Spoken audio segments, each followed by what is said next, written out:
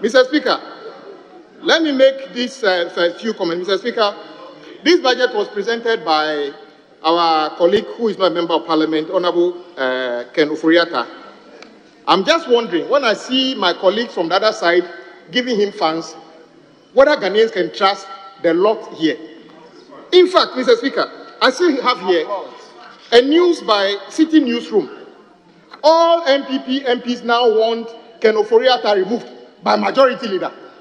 You didn't want the person to be the, the finance minister. Yet he read the budget, you are giving him funds. You cannot be trusted. None of you can be trusted. Because you cannot walk your talk. If you can be trusted, you should have asked. In fact, the day he was reading the budget, you should have left the room. So all of you, including even even uh, the deputy uh, whip, didn't vote for uh, for the president. Uh, how do you call it, vice president? So I'm saying that when you have a situation, the person who read the, budget, you didn't want him to read the budget.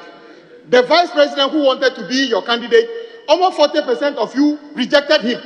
Yet you want him to be the one giving us the future. In fact, did you? In fact, he lost in the constituency, honorable leader. So what is your point? The vice president lost in the constituency. I don't even know what you are standing up to do. Did he not lose in the constituency? He lost. He lost even uh, Honor Afenyo's constituency. You and him didn't vote for him. As for majority leader, he probably voted for him because he wanted to be running mate. But you didn't vote for him. You did not vote for him. So sit down, sit down. You can talk. You cannot talk. You, you, talk. you sit down.